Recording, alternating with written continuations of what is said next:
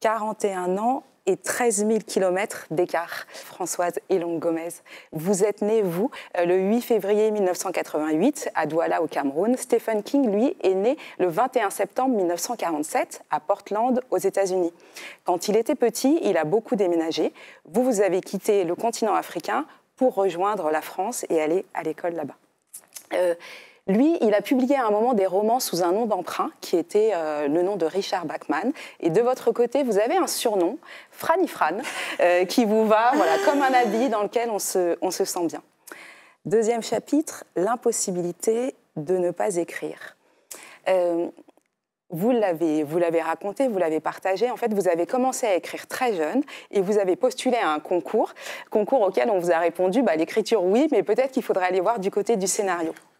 Quand vous avez partagé cette anecdote euh, il y a quelques années, vous avez d'abord commencé en expliquant que vous rêviez de devenir la future Stephen King, et puis vous avez conclu en disant, en écrivant plutôt, euh, j'écris euh, donc je vis, et j'écrirai aussi longtemps que je vivrai. Stephen King, lui aussi, il a commencé à écrire quand il était euh, assez jeune, assez petit.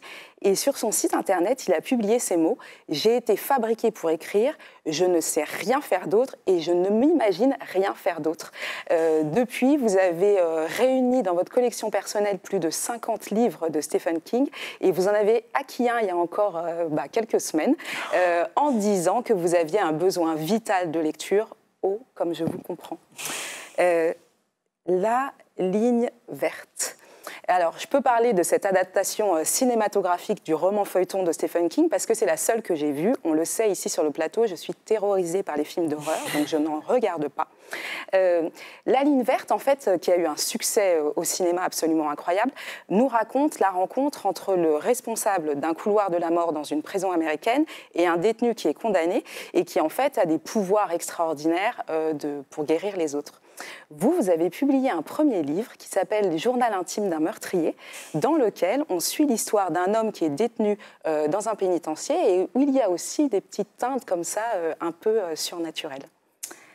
Ensuite, enterré. Alors Stephen King, dans toute son œuvre, il s'attache assez souvent à la figure de l'enfant et de l'adolescent. Euh, ça va de ça, par exemple, que je n'ai évidemment pas vu, mais ma petite sœur qui, elle, l'a vu, après, pendant des semaines, n'a pas pu ouvrir les robinets euh, de la maison sans laisser la porte ouverte, tellement elle était euh, terrorisée. À l'époque, ça s'appelait Il est revenu pour la version télé.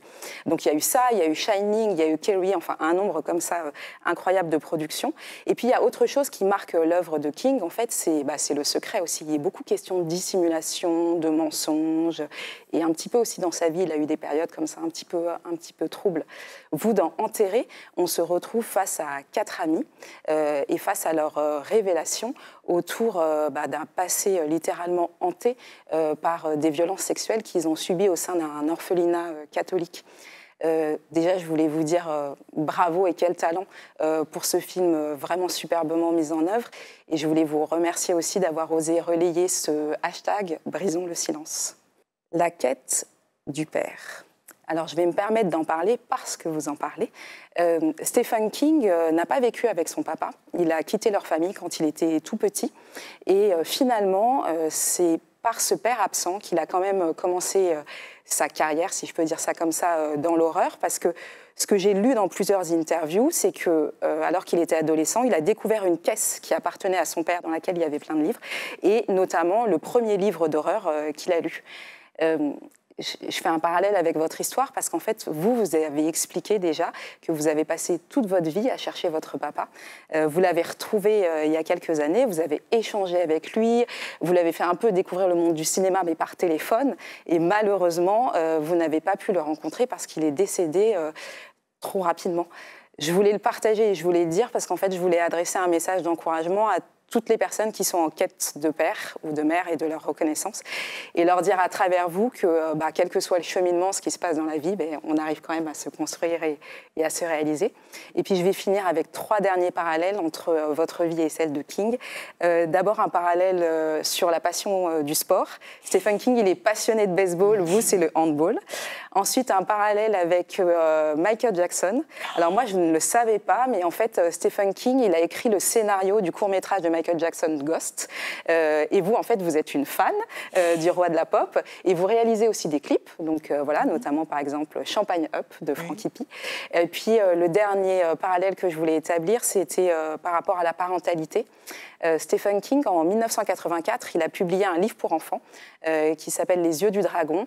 il l'a fait pour sa fille parce qu'il venait de réaliser que, en fait, elle ne pouvait pas lire ces récits d'horreur finalement. Vous, de temps en temps, sur les réseaux sociaux, on aperçoit une nuque, un dos, un profil d'une petite fille que vous appelez euh, mon éclat de soleil. Et euh, à travers les images, euh, on devine à quel point, enfin voilà, la force de votre complicité inouïe. Françoise, on voulait vous remercier, je voulais vous remercier de travailler avec tant d'exigences pour écrire des histoires qui sont si puissantes et vous souhaiter de continuer à être une inspiration, ce que vous êtes déjà.